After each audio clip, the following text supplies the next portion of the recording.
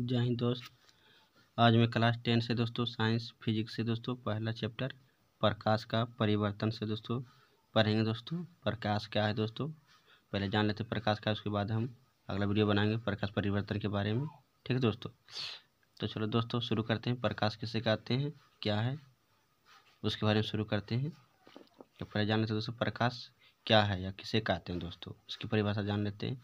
तो प्रकाश दोस्तों, एक प्रकार की क्या है? ऊर्जा है दोस्तों। जो हमारी, जो हम, हमें वस्तुओं को दिखाने में हमारी मदद करते हैं। ठीक दोस्तों? यानी कि सहायता करते हैं।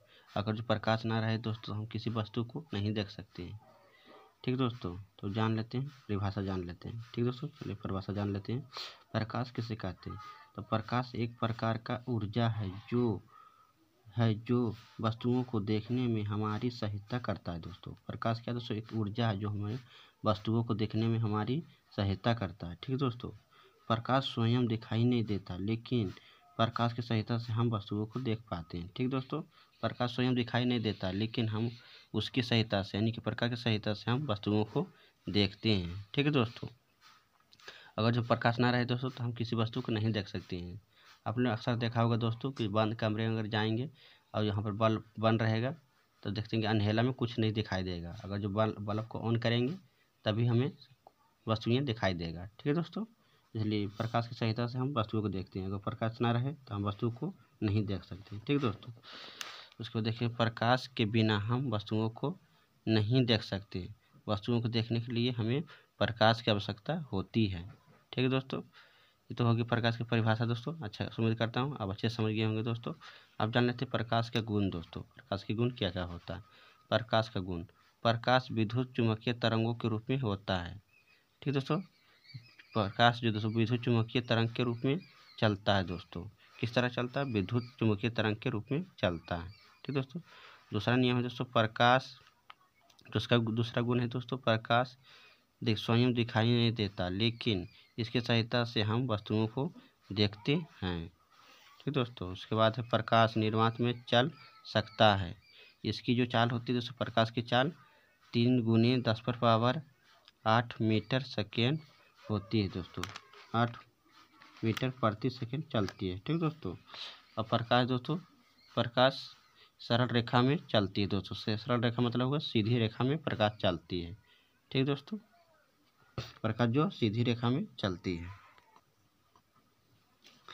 दोस्तों, पांचवा गुण है दोस्तों, दृश्य प्रकाश की तरंग धैर्य उनचालीस सौ एक स्टैंग से अठहत्तर अठहत्तर सौ एक्सटैंग तक होता है दोस्तों। इसकी जो प्रकाश तरंग धैर्य जो होता है, प्रकाश के दोस्तों उनचालीस अष्टैंग से अठहत्तर सौ अष्टैंग होती है। ठीक दोस्तों?